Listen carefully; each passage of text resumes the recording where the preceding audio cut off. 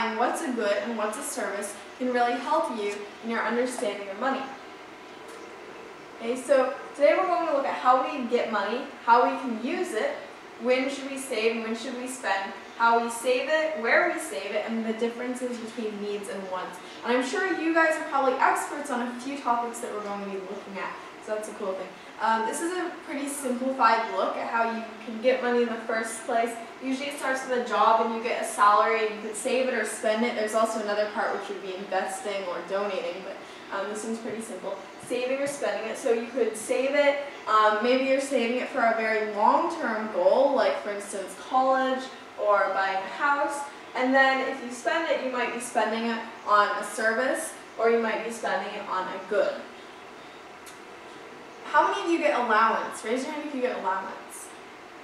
I'm seeing some raised hands. Wow, that's a lot more. When I was about your age, I don't think as quite as many people got allowance. Wow, so quite a lot of you. Now, uh, the money that you get in allowance, raise your hand if you have to do chores in order to get it. Okay, I'm seeing a lot of raised hands too. Alright, so it's not quite easy money then. That, that's sort of, think of it sort of like, so you're doing the job and you're getting a salary, um, is how you might think of your allowance. So you're getting money in exchange for a service that you're providing. What is what are the chores that you usually have to do to get that allowance? Anyone want to give an example? Three? Uh, what, what kind of chores do you have to do in order to get allowance? Um, like, uh, do the dishes for your mom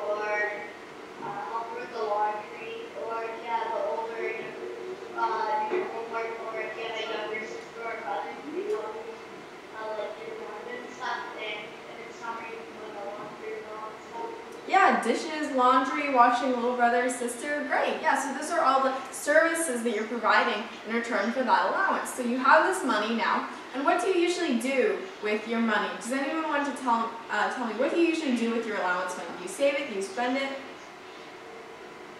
Joe?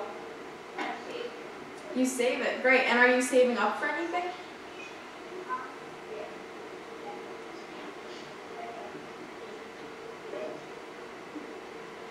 I'm sorry?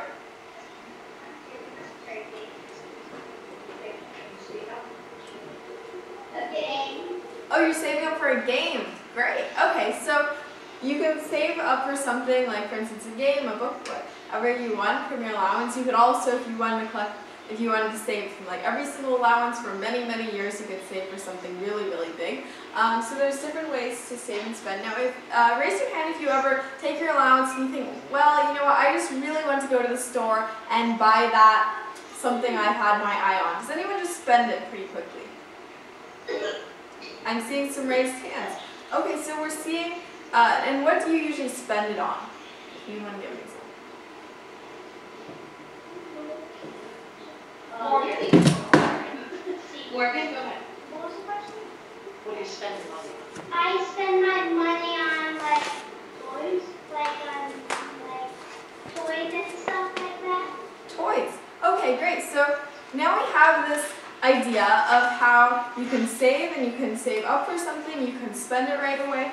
And this is perfect because we're going to be looking at um, not right and wrong, but just how to do both more effectively. All right. So here's a list of goods and services. Uh, getting a job. So right now, maybe in uh, a few years, you'll be able to do a lot of different jobs, like around the neighborhood and even around your city. So once you have that money, you can do a lot of things with it. But the question is, how do you save money? When you're spending money, how do you make sure that you're saving? And you're not spending $100 on something that really isn't quite worth that much. What do you think, what would be your top tips? If you were telling someone, here's how you save money when you go shopping, what would be your top tips? Um, I would get if I went to save money and also go to I would save. Well, I would save by getting something like that is cheap instead of expensive. Okay, so you would really compare prices and see what's cheap, what's not so cheap. And another thing that you might do is you could see what's on sale or on clearance, use coupons, all great ways uh, to do that. So I want to hear your opinion. Let's have a little discussion about saving and spending. What do you think uh, is better most of Saving the time? spending, either thing. Adrian, what's better, saving or spending? Saving. And but, but I know, are gonna ask a paragraph question? So, so why do you think? Saving is better. So why do you? So um, for those of you who think saving is better, why do you think saving is better? Why do you think saving is better? Joe? Um, saving is better because if you, if you spend it right away, you'll have no money. If you spend it right away, you'll have no money. So you might uh, have a situation where you get, um, let's say you have five dollars, and you see something as you're walking down the street at the store, and you're like, I really just have to have that right now. You go and you spend all your five dollars, and then you go back and you realize, oh no, there's another thing I want really bad, and there's another, but you don't have the money anymore. So yeah, both buying on impulse and spending right away can be bad. Uh, now, for those of you who think spending is better, why do you think spending is better? But if you like, if you like what needs groceries, you save money, you like go buy groceries. Yeah, exactly. There are things that you might need. Um, for instance, groceries. Imagine what would happen if your parents uh, saved all their money and never spent any money. What happened? That's a good question. What would happen if your parents saved all their money instead of didn't spend any of their money? Priya, They would get smarter and Alyssa? That's a man. Very good.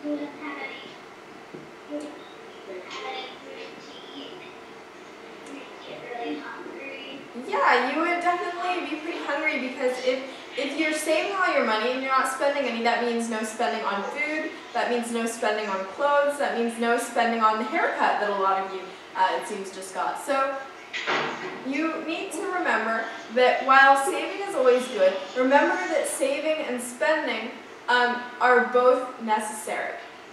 So when you uh, get to be of an age where you're going to be paying for everything yourself, luckily we're not quite that age yet, and we can still live off our parents, but when you get to be that old, then you'll have to realize that you'll not only be spending on the things that you really want, but you'll have to um, spend on things like groceries, food, shelter, stuff like that that is really necessary um, as a need. So saving and spending, remember to do both in moderation, as they say. Now, it's always good to, when you receive, let's say, $5, to set aside some to save and set aside some to spend. Or if you say, well, I really don't need to spend any money right now, then yeah, you can save it all. So those are just some uh, different things to think about. Now, as far as saving money while spending, which is kind of interesting to think about, clipping coupons is a great way. And then also waiting until prices drop before you buy something new. Have any of you really, really wanted a new item before? Maybe you want something new right now. What's something new that you really want? Jonathan? A new Xbox 360. Okay, new Xbox 360. Wow, you have your eye on some pretty big ticket items. Now, how much, do you know about how much does an Xbox 360 cost? Dale, what might cost? No, not that much. It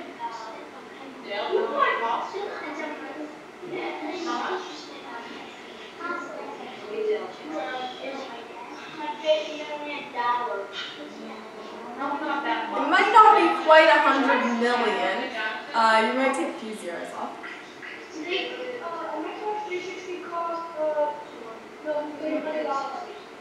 So it's it's somewhere it's in the hundreds. So I'm not sure of the exact number, but it's definitely um, a hundred dollars or more. I'm fairly sure. So the Xbox 360.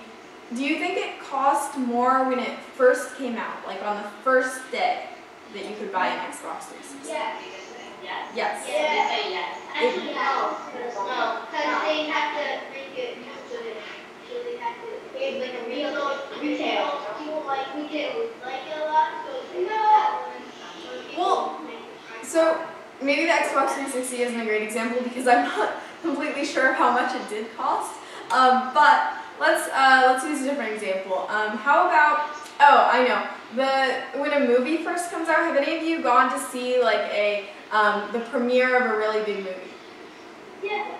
Okay, so uh, some of you might have gone to see the premiere of a really big movie. So, for instance, for me, I went to see this um, the final Harry Potter movie 3D on at midnight, um, and it cost a lot. It cost about fourteen dollars per ticket to see a movie, and that's pretty expensive, I would say, right? That's almost double what you usually pay. So, on the very first, yeah, I know I'm not a very good example, having done that, um, but if you really, really want something new, you might want to wait a couple days or a couple weeks, a couple months, depending on how good your self-control is um, in order to get it. Maybe you've seen, have any of you seen uh, how many people would line up or even camp out to get the newest iPhone? Yeah, you've seen that? So again, if you waited, um, not only would a new version have come out, but also might have been uh, a bit less expensive. So Waiting to get a movie on DVD as well, if you can wait that long, is definitely a waste save money. Don't buy things in season. Uh, this is something good if you can if you can really plan out. Like for instance, now or right after the holidays might be an amazing time to get presents because stores are now uh, putting everything on clearance that they didn't manage to sell during the holidays. Or right after Halloween, probably all the costumes that didn't get sold are going to go on sale. So that's something interesting to. Recycle, reuse, reduce. Does anyone have an older brother or sister? Raise your hand. Alright, so I have an older sister and she goes through a lot of binders and backpacks and I actually benefit from that. You can both save the environment and not uh, waste money by using your older brother and sister's old school supplies as long as they're still functioning. So for instance, I have this nice purple binder from my sister that still works just fine. Uh, the fact that she wrote her name all over it is a little bit unfortunate. So her name's Adriana and she's written Adri all like on every single surface and little hearts and stuff like that. But the awesome thing about recycling or reusing your older brother or sister's binders and stuff, if they've written their name all over it, you can add is stupid at the end. Um, you might not want to do that. Well, it can be a little satisfying. All right, so if you have any, if you're looking at the items on your school supplies list and you already have them in the house, make sure to reuse them. Sign up for free customer incentive programs, so if there's a restaurant you like to go to a lot, then they might have a punch card that shows you can go there. Um, find out whether your local restaurants have discount days, and uh, shop at secondhand and thrift stores. So those are a few tips for me. Now, what do you think if you could tell someone one thing that is the most important thing they should do? How would you boil down all your advice in one sentence? Summary, one sentence. What do you think people should do about their money? What do you think people should do about their money? One sentence. Jonathan? Save it up for college. Save it up for college. Okay, so uh, save it up for college. That's great. I'm going to write these down in a Word document. Um, save it up for college. What else? So I'm sure that we all have maybe different or one sentence things, like the most important thing to do with money. So we have saved up for college. Anyone else have, have an idea? Like you, you can say you can you, you can say like save your money only only buy it now when you need to. Okay. Oops. Hmm, for some reason it's not typing. Uh, that's really strange. Uh, Alright, well, that's unfortunately it's not writing. I'm going to try something else. Alright, only buy it when you really need to. Uh, sorry about this. It's being a little bit persnickety.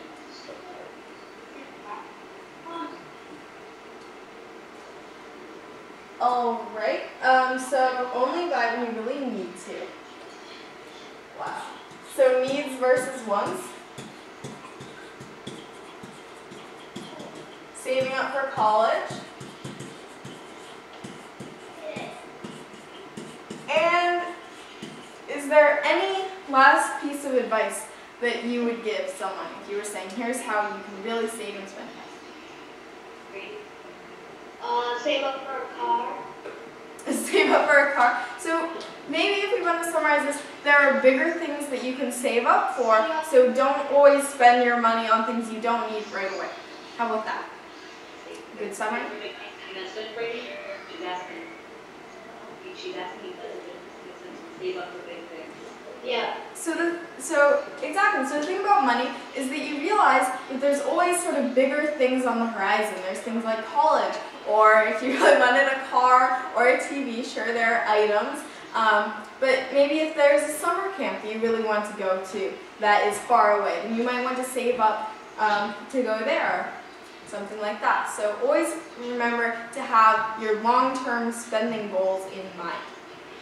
All right. So we're going to talk a little bit now about different forms of money. Uh, how many of you have ever been to a different country? Raise your hand if you've been to a different country. Wow, quite a lot of you. So when you went to that different country, you had to get a different type of currency, right? You had different uh, types of money. So I'm going to we're going to look quickly at some different types of money and talk a little bit about international money. Um, so first, uh, see if you can guess where this is from. Wow. I don't want to that. What kind of money is It's, it's from Europe. That's very good. You guys are getting getting really close. So yes, this is from Europe. Anyone want to guess the country?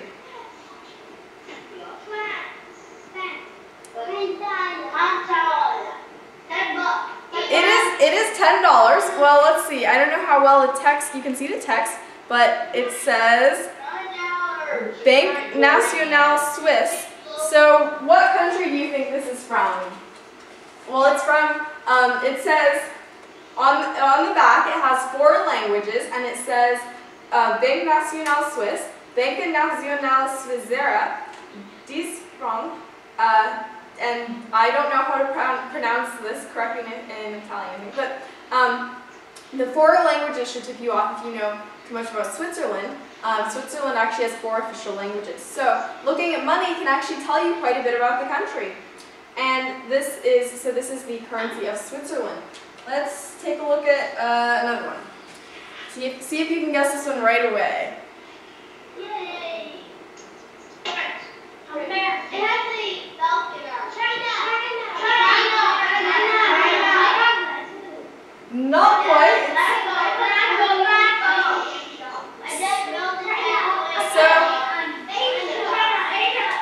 It's actually not. It's actually not China, not Japan, not Russia, not uh, most of the. It's actually from the Middle East, uh, from a very small country called the United Arab Emirates. Maybe some of you have heard of the United Arab Emirates, and uh, there's some very large cities there, Dubai and Abu Dhabi.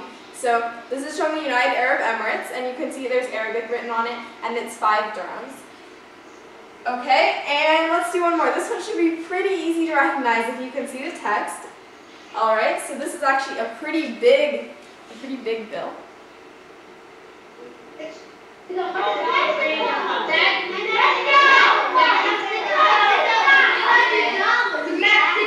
All right, Mexico. Great. So you you you saw and you knew me that was from Mexico. Perfect. So you see how we can take a look at money from all over the world.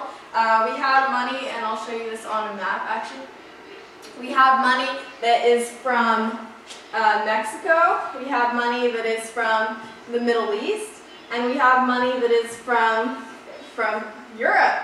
And that is pretty awesome. That looking at money, you can kind of think, wow, it came from all these different parts of the world. So I'm really lucky to have been able to travel quite a bit and pick up different forms, uh, different currencies.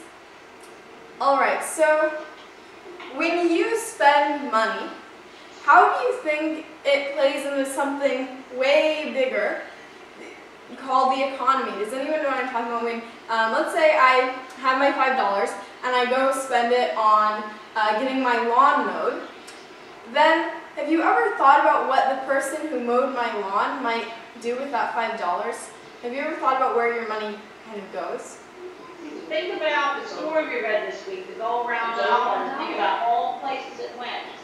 So the question was, if you paid someone five dollars to mow your lawn, what do you think will happen to that five dollars? Think about the stories that talk about. Yeah, where are some places it might go? You that Crystal, it was on your paycheck. Well, they got paid, they got paid the five dollars, so what do you think that person will do with that five dollars?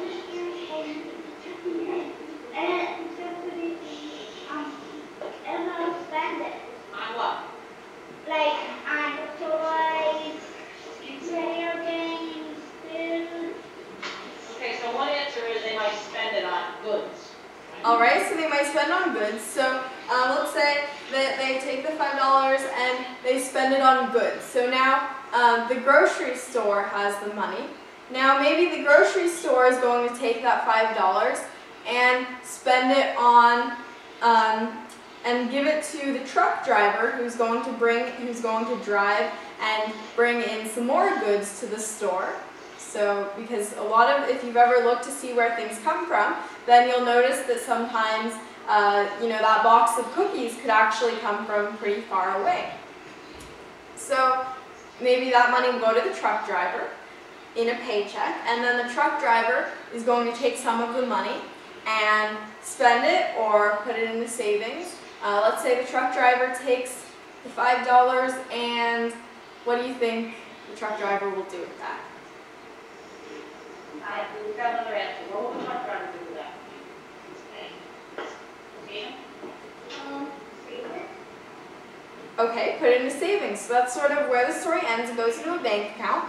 But maybe many, many, many years later, the truck driver's uh, little daughter has grown up and is going to college, and all this money that was in the savings account is maybe now going to pay for college. So it's going to the college. And now the college would maybe take all that money, and obviously now you're thinking in like fairly big terms, and the money you would pay to go to college, but still talking about that five dollars, maybe that would help pay for um, uh, to to pay for the um, one of the sports teams to travel to an out-of-state tournament. So you see how the money could go to all these different places. It could go to the to the person mowing your lawn. It could go to the grocery store. It could go to the truck driver. It could go to the savings account. It could go to the college, which could then go to the sports team traveling to the out-of-state tournament which could then go to all these different places. So it might go to the hotel and it might go to the restaurant. And so that $5 is going to travel all around. And that's how, when you spend a single dollar, a single, uh, or $5, $10, however much money you spend, you're being part of something much, much bigger. And that's pretty cool to think about when you take out $5. So every time you spend or save money, realize that it's not just your money. This is um, part of something much larger called the economy and how that works. So when you're thinking about saving and spending, that's always Okay, so I'm going to actually skip ahead a little bit. And unexpected error in system. All right, that's the slide I want. So needs versus wants. Anyone want to quickly throw out a need? What is a need?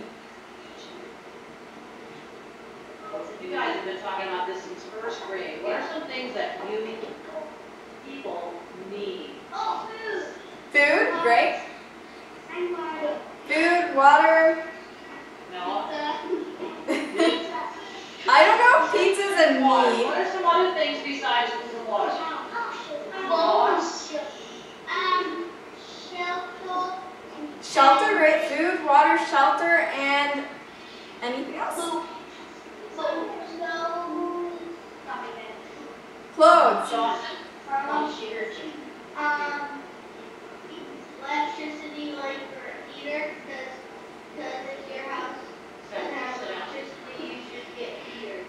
Awesome. That's one that I didn't even think. Great. So in addition to um, food, shelter, clothing, and um, oh, uh, okay, so we have oh food, water, shelter, clothing, and heat for the shelter. I think that's a great one. So we have our needs, but then we also need to think about um, inside those needs.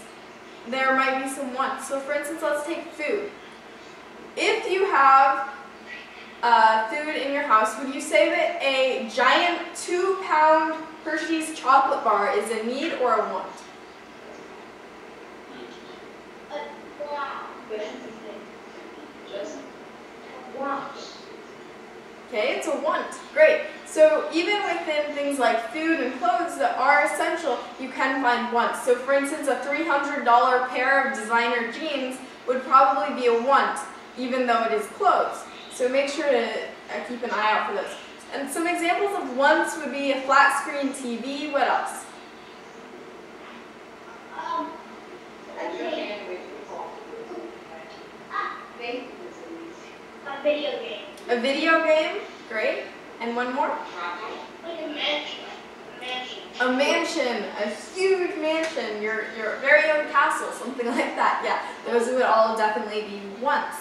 So thinking about needs and wants critically when you're spending money is important. And make sure that you cover your needs first. If it's really, really cold outside and you need new gloves and a hat, then you should probably buy that before you think about the video game or the chocolate bar, right? So, needs and wants. And does anyone here have a bank account?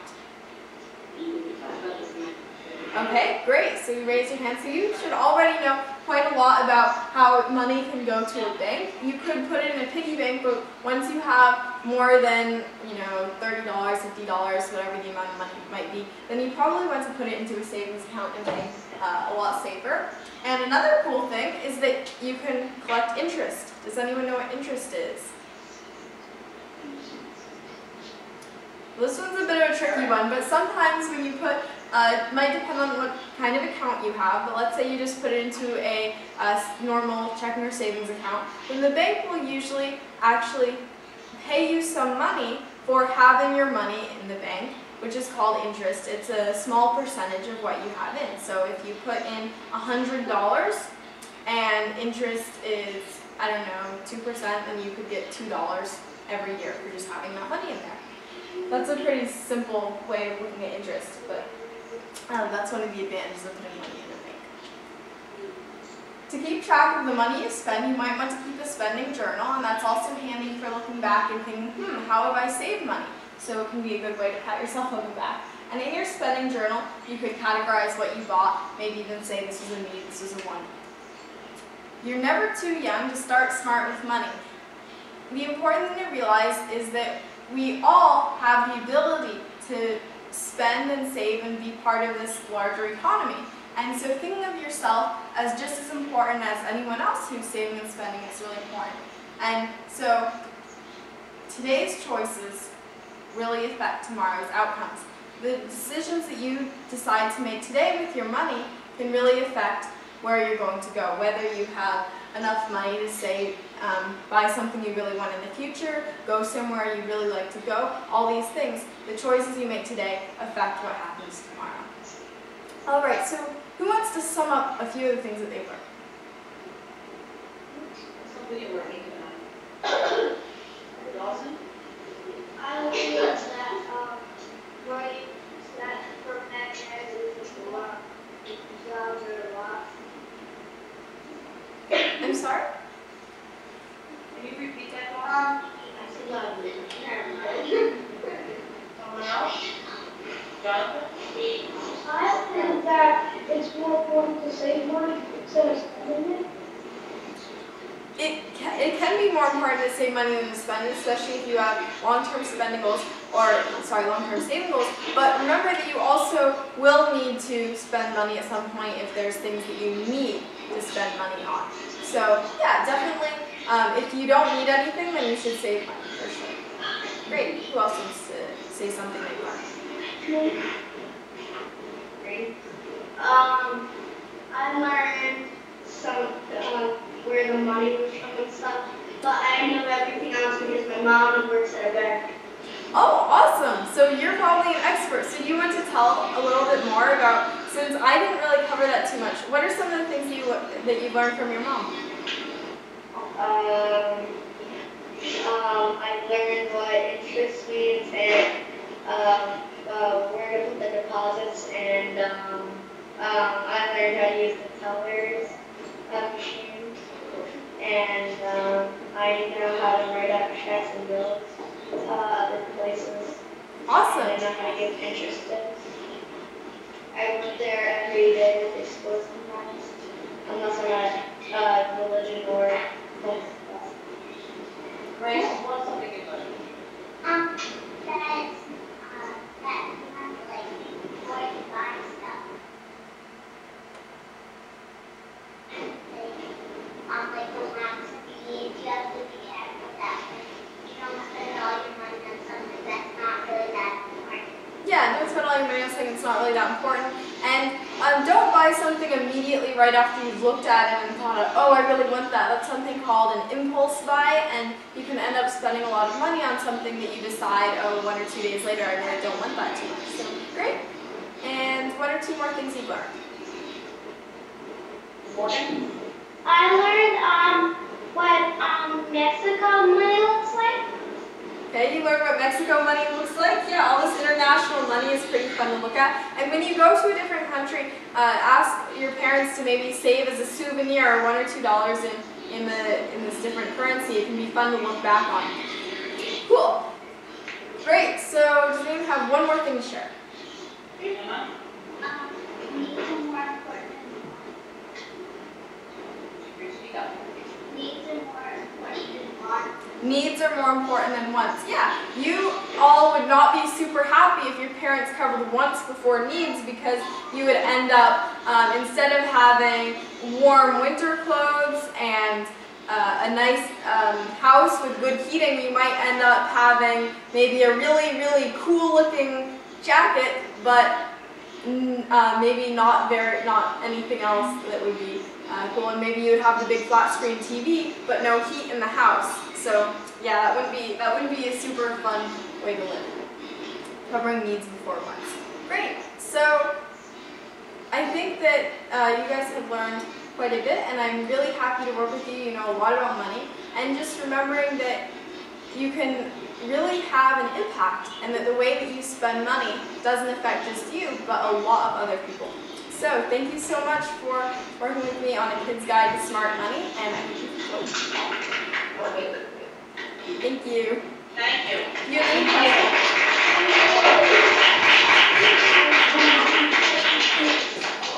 Does anyone have any questions? Questions about questions? It's Oh, oops.